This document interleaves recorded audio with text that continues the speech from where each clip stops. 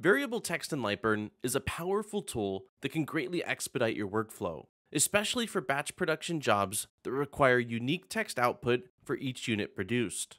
With a dynamic text mode enabled, Lightburn automatically replaces special formatting codes used as placeholders with text when a project is sent to the laser. These placeholders can be swapped for date and time, serial numbers, cut settings, and even data from a CSV file.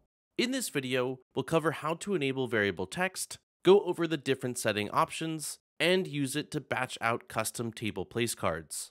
Variable text works hand in hand with the standard text tool. Clicking on the A icon in the left toolbar to activate the text tool, I will click in the workspace and type example. We can customize our text using the text properties section of the top toolbar. On the far right above the offset box is a dropdown that lets us choose a dynamic text mode. By default, this is set to normal, which is what you want for any text in a project that won't be changing. Through this dropdown, we can also choose date time, merge CSV, serial number, or cut settings to change the text type. Selecting one of these other modes lets Lightburn know you want to display an alternative value for this text. After defining the dynamic text mode, next we need to replace our word with one or more expressions. These expressions can be found in our variable text formats documentation linked in the description below.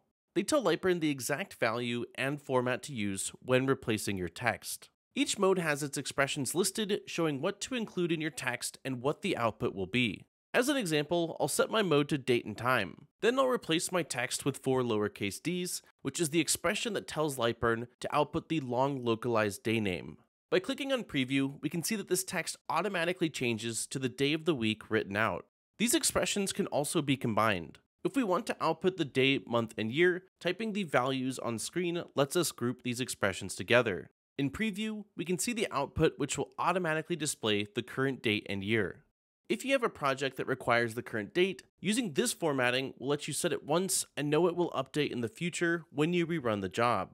A single block of text can only use expressions from one mode, but different text blocks in the same project can be set to another mode and use its expressions.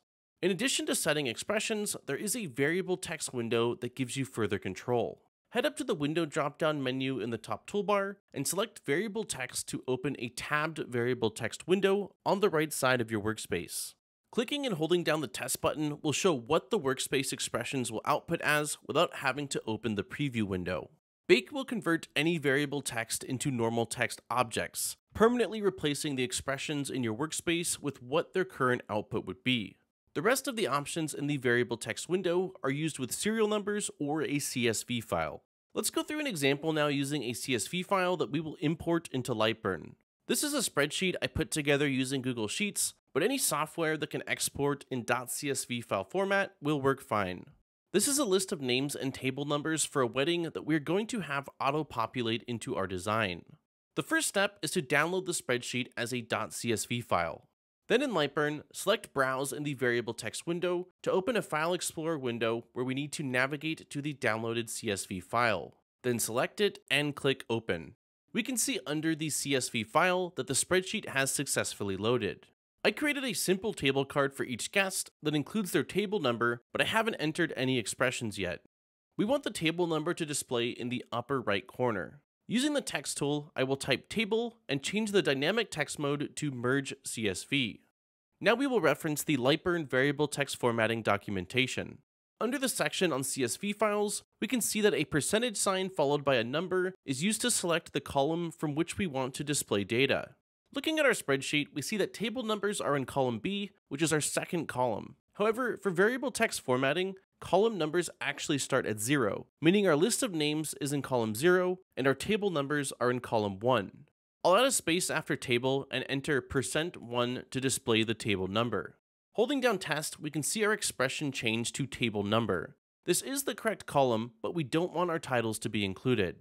In the variable text window, if we increase current from 0, we can cycle through each row.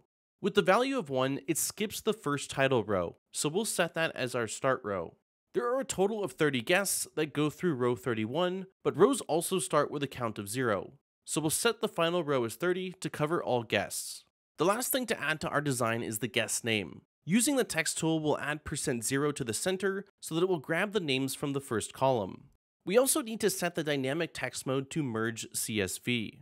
Now when we click test, both the table number and guest name update in our design. Text objects in Lightburn have a property called offset.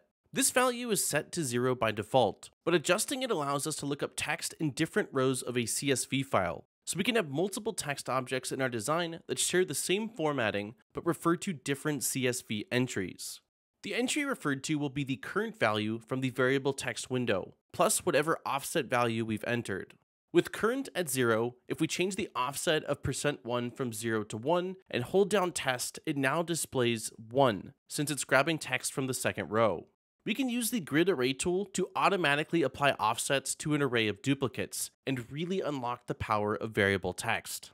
Start by selecting the entire design and clicking on group selection in the top toolbar to group our design elements together. Then click on the array button in the left toolbar to open the create grid array window.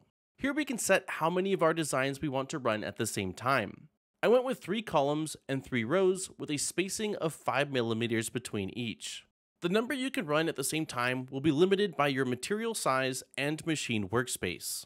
My material is exactly 300 by 300 millimeters, and I can see in this window the total width and height is within these bounds. Making sure auto increment variable text is enabled, we'll click OK to confirm the selection and create the additional copies. Now, if we hold down test, all 9 cards update with the correct names and table numbers from our spreadsheet. After confirming speed and power settings, I'm ready to send this job off to the laser. Once it completes, we can have the next run auto-populate with the next 9 entries in our spreadsheet. To do this, set advanced by to the total number of objects you are running at a time. In this example, we have 9 cards per job. Then click next and hold down the test button. All of the cards have now advanced to the next 9 values in our spreadsheet. You can manually advance forward and backward by clicking the next or previous buttons. If you check Auto Advance, once a job runs, it will automatically advance without needing to press Next. On our fourth batch, we won't have enough rows in our spreadsheet to populate all the designs, so the additional expressions will be blank. We'll want to delete the extra designs before running the final job to prevent any wasted material.